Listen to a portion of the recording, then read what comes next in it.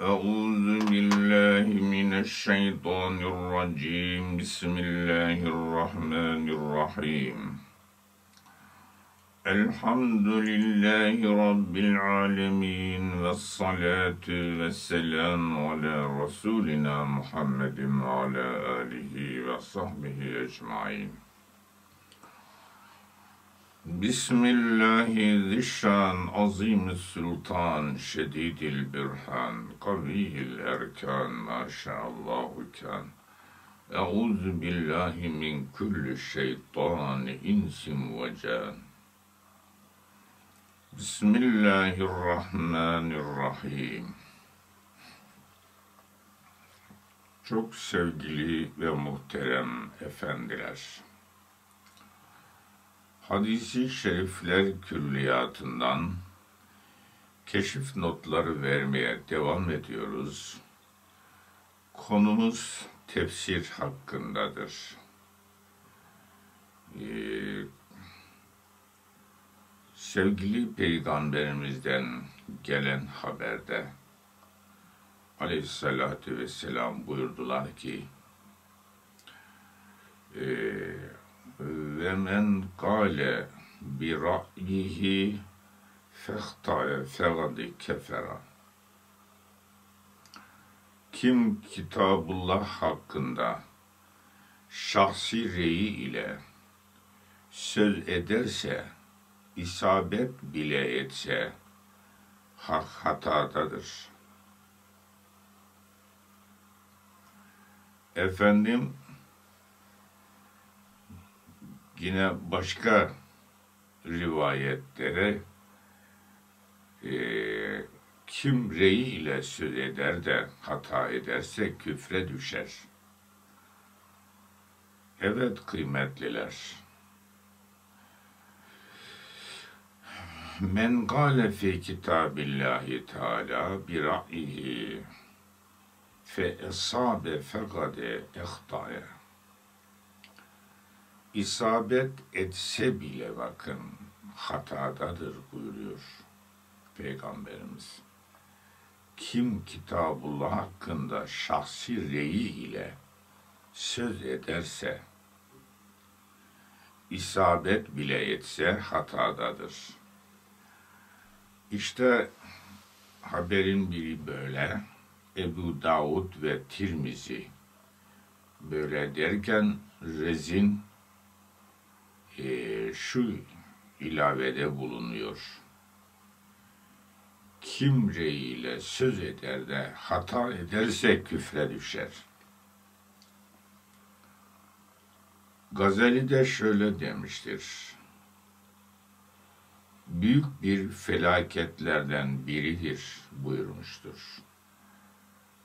Akli bir nakle dayanmadan, nakle dayanmadan e, ve öyle e, yapılmasında zaruret olduğunu gösteren akli bir delil bulunmadan yor, yorum yapmak haramdır. Evet, önce kelimenin, cümlenin anlamına bakılır zahirine bakılır. Ondan sonra karine aranır. İlmi metotlar uygulanır. Ona göre Kur'an-ı Kerim'e mana verilir. Kur'an-ı Kerim'i tefsir edebilmek için kişi o kelimenin, o cümlenin Arapçasını bilmelidir bedi beyan gibi edebiyata, tefsir, hadis, fıkıh, nasip, mensup gibi şerata, e, efendim, Kur'an'a müteallik 15 kadar ilim bilmek gerekmektedir.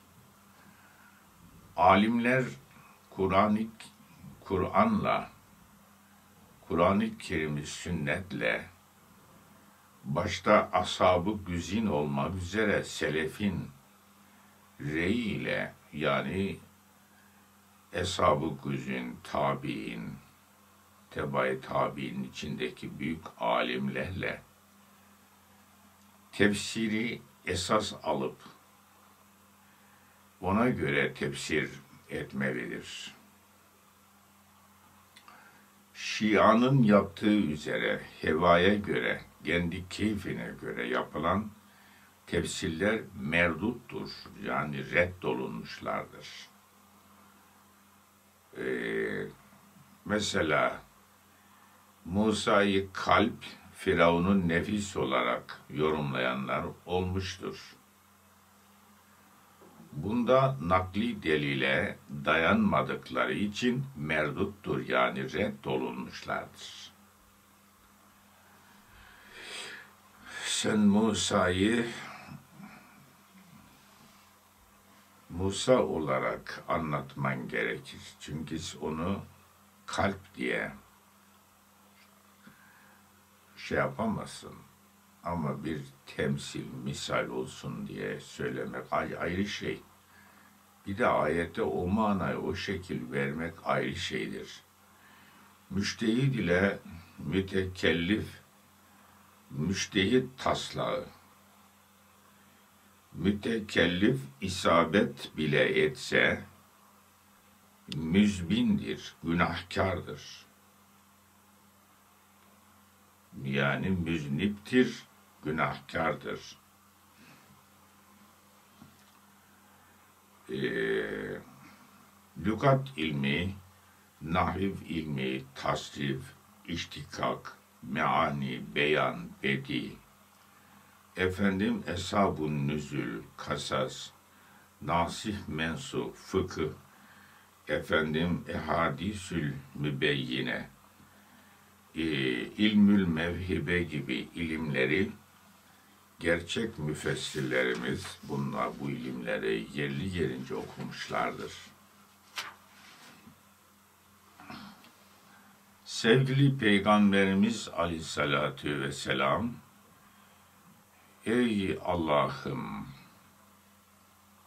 bakın İbn Abbas hakkında ne diyor? Ey yüce Allah'ım bunu dinde fakir kıl. Kur'an-ı Kerim'in tevilini de öğret diye dua etmiştir İbn Abbas Hazretleri için. İbn Abbas bugün sahabilerin içinde en önde gelenlerdendir. Ashabın tevillerinin hepsi Resulullah Aleyhisselatü Vesselam'dan işitilmiş açıklamalardır. Yani Eshab-ı Güzün dediğin zaman peygamber okulunda okuyan kişiler esas selef oradan başlamaktadır. Dört hak mezhep de seleftir. Bunlara ehl sünnet vel cemaat denir bugünkü selefim diyenlerin bu seleflerle alakaları bile yoktur. İstisnalar hariçtir. Yine İbni Abbas Hazretleri e, anlatıyor. Sevgili Peygamberimiz buyurmuşlardır ki, kim Kur'an hakkında ilme dayanmadan söz ederse, ateşteki yerine hazırlansın. Cehennemdeki yerine hazırlansın. İşte kim Kur'an-ı Kerim hakkında ilme dayanmadan söz ederse ateşteki yerine hazırlansın. Yerini hazırlasın diye de mana verilmiştir. Evet kıymetliler, ilme dayanmadan Kur'an-ı Kerim tefsir edenler e, zümresine dahil olur. Efendim, Kur'an-ı Kerim'den mana çıkarma cihetine giderse, bilgisiyle, ilmi olmadan, işte onlar da ilme dayanmadan Kur'an-ı Kerim tefsir ediyorum zannedenler, onlar da cehenneme yuvarlanırlar. Selefin açıklamaları, yani ehil olanların dersini dinlemek, zaruri olan iki ön şarttır. Hem ilmin olacak, hem de bilenleri dinleyeceksin. Bütün müfessirleri ehli sünnet yolundaki gerçek alim müfessirlerin de ilmini gözden geçireceksin. Yine Tirmizi'nin rivayetinde benim hakkında bildiğiniz dışında sözden kaçının. Bakın, kim bana bile bile yalan nispet ederse ateşteki yerine hazırlansın. Kim de Kur'an-ı Kerim hakkında rey ile söz ederse ateşteki yerine hazırlansın. İşte bu hadisi şerifler hakkında da tefsir hakkında da Kur'an-ı Kerim hakkında da Peygamberimiz insanlık alemini uyarmaktadır. Bilhassa ümmetini uyarmaktadır. Evet kıymetliler, yine sevgili peygamberimizden merfu olarak e, gelen haberlerde hadis yani sünnet sahabeninkilere mevkuf hadis denmektedir. Tabi'in ve etbauninkilere de mungatı hadis denmektedir. E, merfu hadis, mevkuf hadis, maktu hadis bunları daha önceki hadis usulünde anlatmaya çalışmıştık. Yeri geldikçe de değiniyoruz. Evet kıymetliler, Allah Teala ne diyor? Benim kitabımı kim bozarsa, yanlış mana verirse, cehennemi ikametgah edinmeye hazırlansın demektir.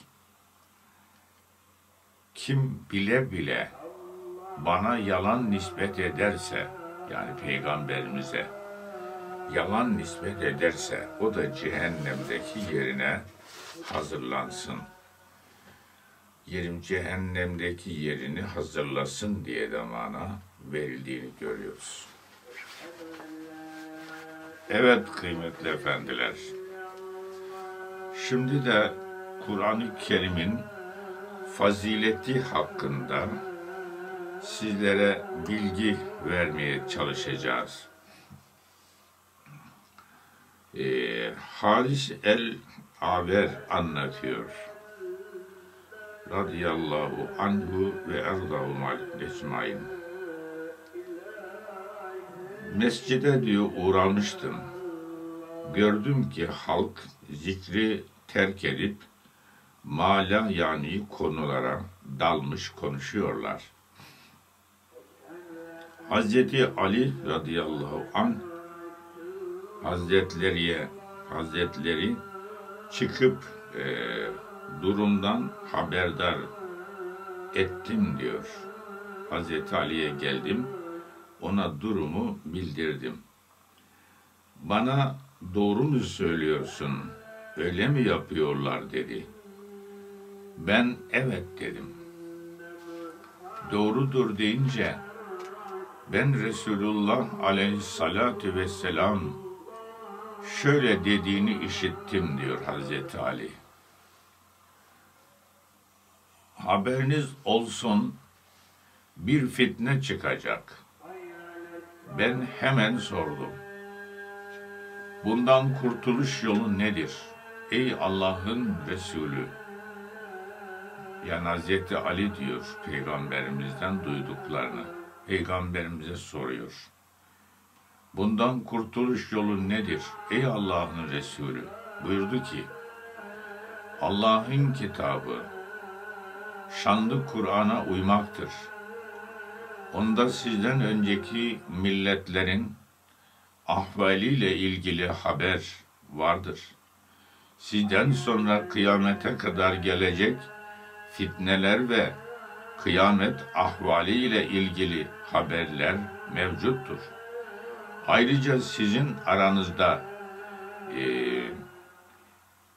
iman, küfür, taat, isyan, haram, helal vesaire nevinden cereyan edecek ahvalin de hükmü vardır. O hak ile batılı ayırt eden ölçüdür. Onda her şey ciddidir. Gayesiz bir kelam yoktur. Kim akılsızlık edip ona inanmaz ve onunla amel etmezse Allah onu helak eder. Kim onun dışında hidayet ararsa Allah onu saptırır. O Allah'ın sağlam ipidir. O hikmetli olan zikirdir. O dost doğru yoldur. O kendine uyan hevaları e, koymaktan, kendisini kıraat eden delilleri iltibastan korur. Alimler ona doyamazlar. Onun çokça tekrarı usanç vermez. Tadını eksiltmez.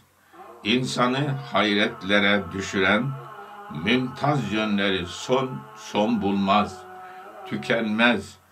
O öyle bir kitaptır ki cinler işittikleri zaman şöyle demekten kendilerini alamadılar. Biz hiç duyulmadık bir tilavet dinledik. Bu doğruya götürmektedir. Biz onun Allah kelamı olduğuna inandık. Cin suresi birinci ayeti kerime. Kim ondan haber getirirse doğru söyler. Kim onunla amel ederse ücrete mazhar olur. Kim onunla hüküm verirse adaletle hükmeder. Kim ona çağrılırsa doğru yola çağrılmış olur. Ey aver! Bu güzel kelimeleri öğren dedi Hazreti Ali peygamberimizden duyduklarını böyle habere nakletti. Bunu da Tirmizi anlatmaktadır. E, Tirmizi rivayet etmektedir. Altı esas sahih kitaptan biri de Tirmizi'dir. Ashab-ı güzin arasında cereyan eden hadiseler veya Tatarların çıkışı gibi nice fitneler zuhur etmiştir. Deccal veya Dabbetül Arz'ın zuhuru gibi ahir zaman fitneleri olabileceği belirtilmiştir. Ancak Ali Yülkari birincisi dışındakileri kastetmiş olması makam icabı mümkün değildir demiştir. Hakikaten o Kur'an-ı Kerim hak ile batılı ayırt eden kat'i bir sözdür. O hezil, gayesiz bir söz değildir. Tarık suresi 13 ve 14. ayeti kerimelerden de bunları anlamaktayız. Tıbi bakın ne diyor? Kim hak akılsızlık edip Kur'an-ı Kerim'i terk ederse, Kur'an'dan amel edilmesi vacip olan bir ayet veya bir kelimeyi tekebbür sebebiyle, kibirle, kibirlilik sebebiyle kim amel dışı bırakır veya kıraatını terk ederse küfre düşer. Kur'an-ı Kerim'in yüceliğine inanmakla birlikte aciz, e, tembellik veya zayıflık sebebiyle kıraati terk etmesinde e, durum farklıdır. Ancak sevaptan mahrum kalır. Hoşlanmadığın senin bir ayet veya bir ilahi Kur'an'dan bir emir, bir hüküm olsa, ayakların cehenneme doğru tepe takla kayar gidersin. Aklını başına al. Ee, o şanlı Kur'an kendine uyan hevaları kaymaktan korur. Kur'an-ı Kerim getirdiği hidayete tabi olursa, Kur'an-ı Kerim'in getirdiği hidayete tabi olursa kişi korunur. Kur'an'a tabi olan heva bid'ate düşmekten, sapıtmaktan kendini korur. Ee, zikri yani şanlı Kur'an'ı, kitabı biz indirdik. Onun koruyucusu da biziz. Hicr suresi ayeti kerime 9. Biz Kur'an-ı Kerim'i senin dilinle indirerek kolaylaştırdık.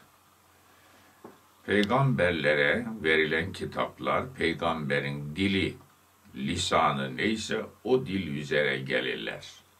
Ki iş kolaylaş, kolay olsun diye.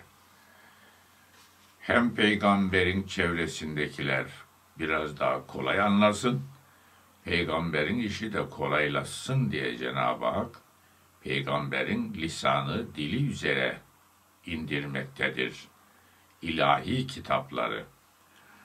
Onun için Kur'an-ı Kerim Arapçadır. Andolsun ki Kur'an'ı öğüt olsun diye kolaylaştırdık. Kamer suresi 22'de Yine alimler ona doymazlar buyuruyor Peygamberimiz. Keşfettikçe yenilerini aramaya öncekinden daha fazla bir iştiyak duyar. Bu böyle doymadan, usanmadan devam eder gider. Ebu Hureyre Hazretleri rivayet ediyor. Ee, efendim radıyallahu anhü ve erdan ecmain. Sevgili Peygamberimiz buyurdular ki aleyhissalatü vesselam, bir grup Kitabullah'ı okuyup, yani Kur'an-ı Kerim okuyup ondan ders almak üzere Allah'ın evlerinden birinde bir araya gelerek gelecek olsalar, mutlaka üzerlerine sekinet iner ve onları Allah'ın rahmeti bir kuşatır. Melekler de kanatlarıyla orayı sararlar. Yüce Allah onları yanında bulunan yüce cemaate de anar. Bakın yeryüzünde böyle kullarım var. Kur'an-ı Kerim okuyorlar ondan ders alıyorlar. Buyurur göktekilere, yerdekileri Cenab-ı Hak ne yapıyor? Hatırlatıyor, anıyor. Onlara övüyor. Bunu da Ebu Davud, Tirmizi, Müslim, İbn Mace gibi sahih kaynaklarda görmekteyiz. Evet kıymetliler, sekinet esas itibariyle vakar, itminan ve mehabet manasına gelmektedir. Ee, bir kimseyi ameli yavaşlatırsa nesebi hızlandırmaz. Soyuna, sülalene güvenme, ameline bak, Kur'an ile amel et Kur'an-ı Kerim'i yanla, onun emrinde bir Müslüman ol. Ebu Hüreyre Hazretleri yine bir rivayette Peygamberimiz Aleyhisselatü Vesselam sizden kim evine döndüğü zaman üç adet gebe, iri, semiz deve bulmayı istemez buyurdu. diye o hesaba sordu. Hepimiz isteriz diye cevap verdik. Öyleyse buyurdu kim namazdan kim ki namazda üç ayet okusa bu ona üç iri ve semiz deveden daha hayırlıdır buyurdu. Bunu da Sahih Müslim rivayet ediyor. İşte görüyorsunuz o halde birinizin mescide gidip orada Allah'ın kitabından iki ayeti öğrenmesi veya okuması kendisi için iki deveden daha hayırlıdır. Üç ayet onun için üç deveden, dört ayet onun için dört deveden ve okunacak ayetler kendi sayılarınca deveden daha hayırlıdır buyurdular. Bunu da Sahih Müslim ve Ebu Davud'un rivayet ettiğini görüyoruz. Her bir ayetin bir deveden daha hayırlı olduğunu açıklıyor. Başka rivayetlerde vardır ki yerlerden, göklerden, içindekilerden daha hayırlıdır bir ayet-i kerime. Birinizin cennetteki kamçı kadar yeri dünyadan daha hayırlıdır buyurmuştur. Bakın cennetteki bir kamçı kadar yeri dünyadan daha hayırlıdır buyuruyor. Sana cenneti uçsuz bucaksız kazandıran nedir? Dinin, imanın, Kur'an'ındır.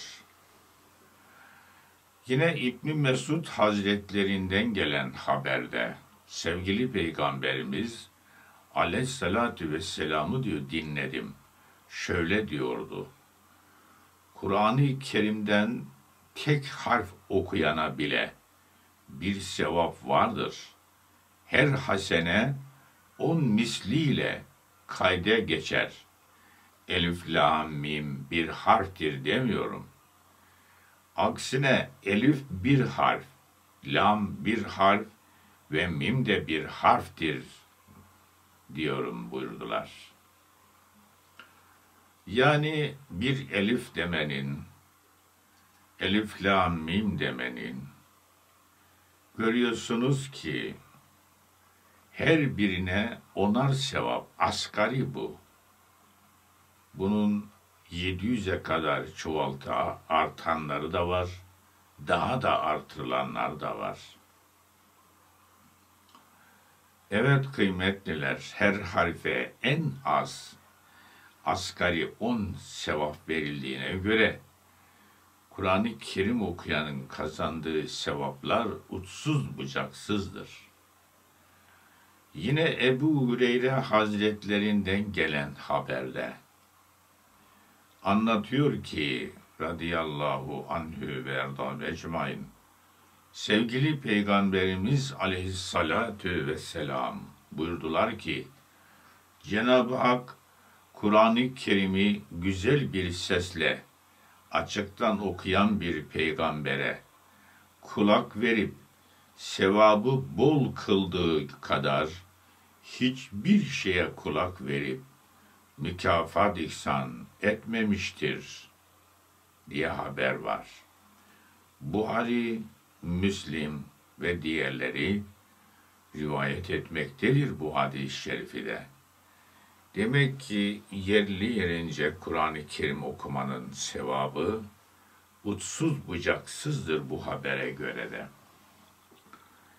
Tilavetten yüce Allah'ın memnun kalıp okuyana bol ikram ve sevap vermesi manasına gelmektedir. Öyleyse Kur'an-ı Kerim'i dost doğru, güzel okumalı, doğru anlamalı, doğru anlatmalı ve doğru amel işlemelidir.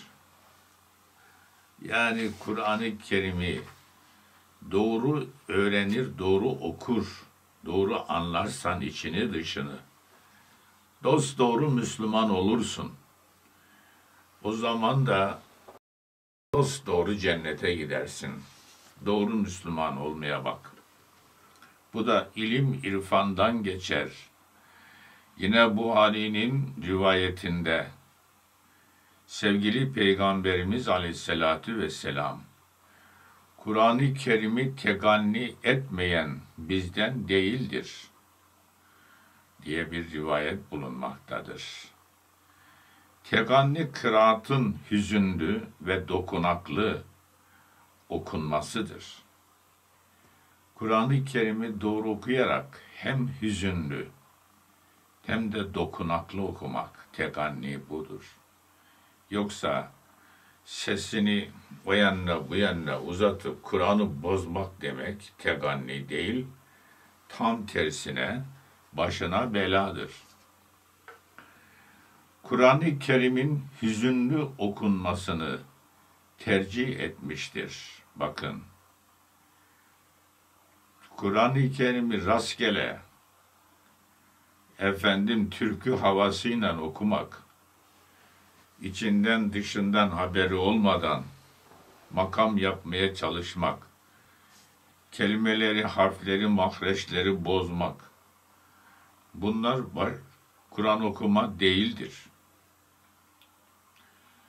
Sesi Kur'an'la güzelleştirip zinetlemek, yerli yerince sanatlı okumak, teçvidi yerli yerince uygulamak, manasını da anlayarak okumak. Efendim bu Kur'an okurken başka meşguliyetleri terk etmek, ondan lezzet almak, zenginlik yani fakirliğin zıttıdır. Faydalanmak, istifade etmek, Kur'an'la yetinip, önceki milletlere gelen kitaplardan, onlarla ilgili rivayetlerden müstani kalmak.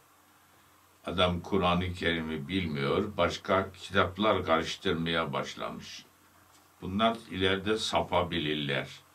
Ayakları kayarlar. Önce Kur'an-ı İslamici öğren, ondan sonra zamanın olursa, ömrün yeterse başka ilimlerle de uğraş. O da ayrı mesele. Kur'an-ı Kerim'in ezgi olarak söylenmesini arzu buyurmuştur. Hristiyan ve Yahudiler arasında mütedavil olan kütübü kadimeden müstani olmak, onlara iltifat etmemektir. Çünkü bugünkü Hristiyan ve Yahudilerin elindeki kitaplar tahrife uğramış, bozulmuştur